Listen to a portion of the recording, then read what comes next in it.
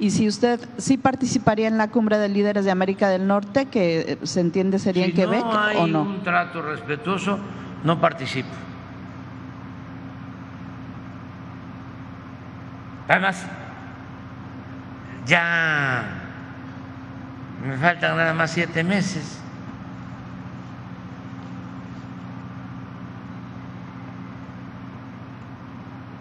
Y no me gusta viajar mucho. Me gusta viajar aquí a Palenque. Aquí sí, este, me siento muy bien, de salud y de ánimo, que hay muy buenas vibras. Y acuérdense que la vida no es nada más lo racional, es también lo místico.